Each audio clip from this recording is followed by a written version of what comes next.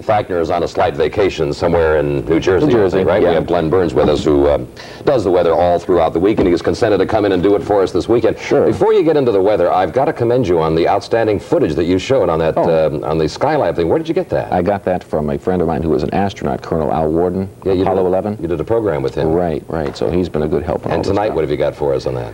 Well, we're going to look at the chances of you getting hit, and right now the chances of you getting hit are about equal to winning the Irish sweepstakes. Yeah, but it really is a very serious thing. That thing Yes, is going to come down somewhere. It's going to hit something some along, somewhere along the way. The latest NORAD computer puts it at 1028 Wednesday morning. well, we'll all be watching. We'll wait and see. And anyway, today not very good. In fact, uh, after today's weather, I was told to take a long walk off a very short pier, and that's exactly what I seem to be getting tonight. A lot of hazy skies, gray skies today. This is a warm front currently moving through the Twin Cities, and by tomorrow afternoon it should be out of the way, leaving temperatures in here in the lower 90s, and we also have a good chance of getting a thunderstorm here tomorrow. The air is very humid, and with the heating that goes on all day with the earth, uh, there's a very good chance of getting a thunderstorm tomorrow afternoon. Right now, though, it, the sun's been trying to come out. It's 81 degrees, the dew point temperature, very moist air, 64 degrees. Our high today was 81. The overnight low last night was 67. Humidity at 56%. Barometer falling as the, as the warm front approaches. We have a southerly wind at 12 miles per hour. Here's what that cold front, or rather warm front, I keep saying cold front, and we're so used to getting them in here. The warm front now moving through Minnesota that stretches all the way down into eastern Kansas. Now, right here, you see a very big thunderstorm. This thunderstorm produced very large hail today as it's moving into western Missouri, and it's a very large one producing quite a bit of rain. But you see the clear spot in behind here over the Dakotas. It was beautiful today all day, sunny skies, and we'll have those sunny skies in store for us tomorrow. Right now, storm surge radar scans out in the 125 mile range, and we just have some light, light precipitation echoes occurring around the western sections of Wisconsin over into the northern suburbs of Minneapolis, but nothing really to write home about at this point.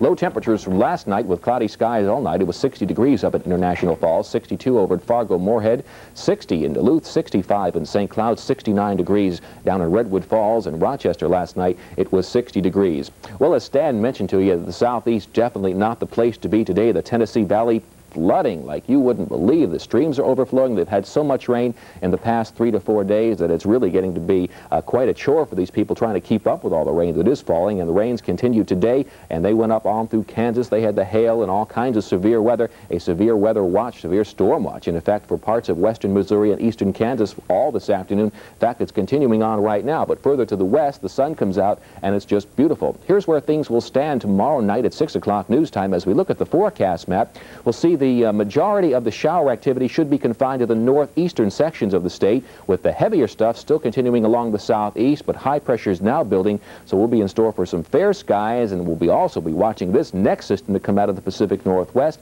but that's a long way off. Our forecast for tonight calling for cloudy skies, low tonight 65 to 70 degrees. For tomorrow, well, it'll become mostly sunny in the afternoon and very, very warm. Highs tomorrow 85 to 90. For boaters and fishermen, southerly winds at 10 to 15. Lakes will have a light shop. If you fish by the barometer, you'll have a slow rise, and the daylight begins at 5 o'clock and ends at 9.35. Extended forecast, sunny and warm right on through Wednesday. Okay, Glenn, thank you very much. And now it's time for our annual our annual weekend feature, People in the News with Nancy Nelson. Well, Stan, we like to get the really sad stuff out of the way right off. Yeah, I understand you have Yeah. something about Marie Osmond. Yeah, really a heartbreaker. 19-year-old Marie Osmond announced her engagement to actor Jeff Creighton only a few weeks ago. This week she announced her unengagement to actor Jeff Creighton, saying marriage is a serious thing you don't want to fool around with. We had doubts, so we called it off. And it seems Dolly Parton is real short on common sense. She had signed a contract with her former singing partner, Porter Wagoner, in 1970, indicating that Wagoner would receive, and get this, 15% of her royalties for an indefinite period of time, and 15% of her net income for five years if she left his show. She did leave his show in 1974. Now Wagoner is suing her for $3 million, or a percentage of her income since their breakup. Rock star Mick Jagger's estranged wife, Bianca, toured a crowded refugee center in her native Managua, Managua, Nicaragua this week.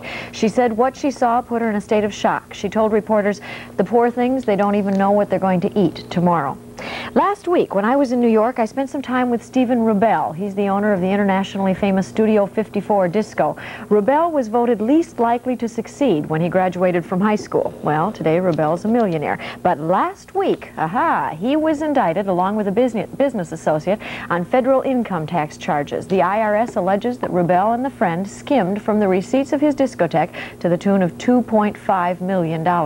Singer Joan Baez has created controversy throughout her entire career. During the Vietnamese War, she was an outspoken opponent of the United States' involvement there. Most recently, she's been talking about the violation of human rights in Vietnam. The irony of it all, says Baez, is that during the war, she was labeled a communist. Now, some are suggesting that she's been hired by the CIA to help discredit the Hanoi government.